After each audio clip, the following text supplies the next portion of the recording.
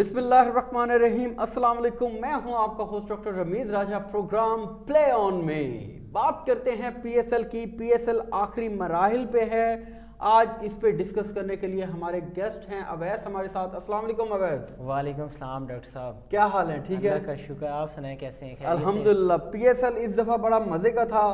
दो बहुत ही हैरान कन महले हुए एक मुल्तान सुल्तान मुसलसल नौ मैच मुसलसल तो नहीं दस में से नौ मैच जीत गया जो कि एक रिकॉर्ड है। और इसी तरह एक और बुरा रिकॉर्ड बना हा कराची किंग्स का जिसमें से वो दस में से नौ मैच हार गया। हार गया बिल्कुल ऐसे ही। आखिरी तरीन मराहल में आज एक आखिरी मैच होना है उसके बाद डिसाइड होगा कि कौन टीम कौन सी टीम कौन किसके साथ खेलेगी एक नॉकआउट मरहले में।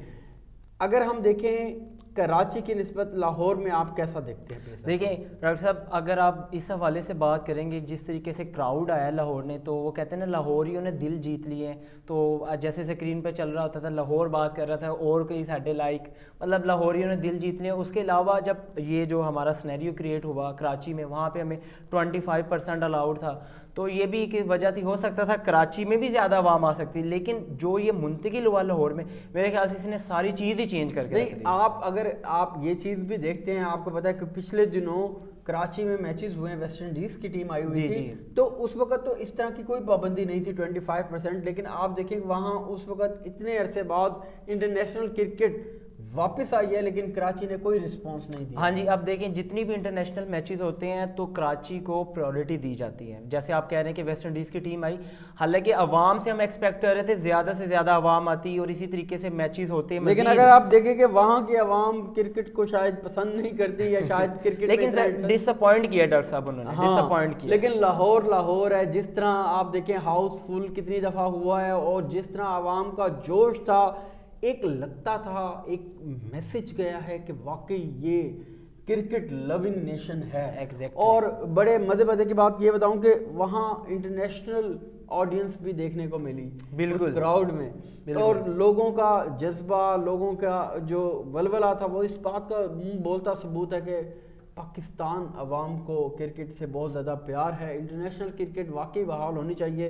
और ये एक मैसेज भी गया है पूरी दुनिया में कि पाकिस्तान क्रिकेट के लिए एक बिल्कुल सेफ़ और सिक्योर कंट्री है। और अगर आपकी किसी भी हवाले से हेजिटेशन थी जैसे आपने कहा कि इंटरनेशनल फैंस वहाँ पे आए हुए थे तो इट्स मीन क्या है कि पाकिस्तान बिल्कुल एक सेफ़ एंड सिक्योर है आप बिल्कुल यहाँ पे आए। हम एक ऐसा कंट्री जहाँ पे हम बिल्कुल मेहमान नवाज़ हैं। और हम बिल्कुल हर बंदे को मौका देते हैं चांस देते हैं कि वो आए और हमारे माहौल के अंदर एडजस्ट हो एडजस्ट हो जाए। बात करते हैं पॉइंट टेबल की। पॉइंट टेबल में इस वक्त चार टीमें क्वालिफाई कर चुके हैं जिसमें मुल्तान पहले नंबर पे है लाहौर दूसरे नंबर पे है तीसरे नंबर पे पिशावर जलमी है और चौथे नंबर पे इस्लामाबाद यूनाइटेड है बिल्कुल। आपको क्या लगता है कि मुल्तान और लाहौर का टाकरा आ रहा है? आज का जो मैच है वो ज़ाहिर सी बात है लाहौर का पलड़ा थोड़ा भारी लग रहा है लेकिन पिशावर जलमी भी पीछे नहीं है। लेकिन देखा जाएगा अगर लाहौर जीतता है तब भी चांसेस हैं लाहौर हारता है तब भी रन रेट की लिहाज पर बिल्कुल। चांसेस हैं कि लाहौर और मुल्तान का आएगा। उनमें जो भी जीतेगा वो क्वालिफाई करेगा जो हारेगा वो भी दिल छोटा ना करे। मैं वैसे आज का मैच इस वजह से ज़्यादा मतलब कि मैं एक्साइटेड हूँ। मेरे ख्याल से ये आज का मैच हाई स्कोरिंग होगा। लास्ट टाइम जब मुल्तान और लाहौर आमने सामने आए थे तो मुल्तान ने 200 से ज़्यादा का जो स्कोर था उसको चेज़ किया था। वो लाहौर के अगेंस्ट ही था। तो हम्म। आज देखते हैं कि मतलब किस तरीके से परफॉर्म करते हैं। मैं मेरा पल रहा मुल्तान की तरफ़ एज यूजल एज यूजल अच्छा मुल्तान और लाहौर में से अगर कोई टीम जीती तो वो फाइनल में चली जाएगी और अगर हारी तो वो एलिमिनेटर वन में चली जाएगी।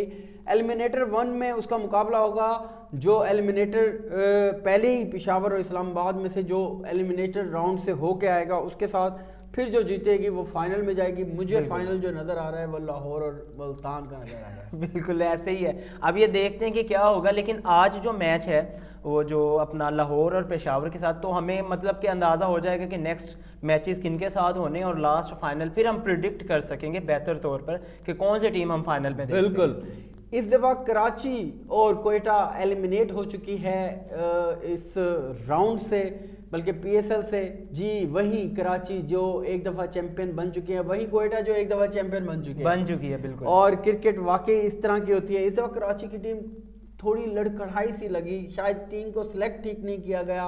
बाबर आज़म बहुत बड़े डिसपॉइंट रहे हमारे जो कैप्टन हैं। उनको इस तरह होना नहीं चाहिए था। एक ही बंदा था बाबर आज़म जिसकी वजह से दिल करता था कि कराची कोई ना कोई मैच जीत जीत जाए ताकि हमारे जो कैप्टन है उसको थोड़ा सा बूस्ट मिले एनर्जी मिले और वो थोड़ा सा जो है ना फ्रेश रहें। अच्छा डॉक्टर साहब आप में से मैं ये पूछना चाहूँगा आपकी नज़र में देखें आपका जो कैप्टन हो वो तीनों फॉर्मेट्स का लेकिन ये जो लीग हुई है इसमें उनका थोड़ा सा मोराल आपकी नज़र में डाउन होगा कि नहीं? क्योंकि आप देखें ऑस्ट्रेलिया का दौरा है ऑस्ट्रेलिया पाकिस्तान आ रही है और इतना मतलब कि इतने अरसे बाद तो बाबर आज़म की इस परफॉर्मेंस से उनकी परफॉर्मेंस पर क्या इफ़ेक्ट होगा? बिल्कुल सही कह रहे हैं एक कैप्टन जो दस मैच मुसलसल हार रहा हो एक आध मैच जीत गया उसका मोरल द डॉन होता है। लेकिन अगर हम दूसरे तरफ़ देखें तो हमारे पास रिजवान भी कैप्टन रहा है जो मुसलसल नो मैच जीता है। हाँ, हमारे पास शाहीन शाह अफरीदी जिस पे हमें एक्सपेक्ट ही नहीं कर रहे थे इतनी अच्छी परफॉर्मेंस हम्म। देगा।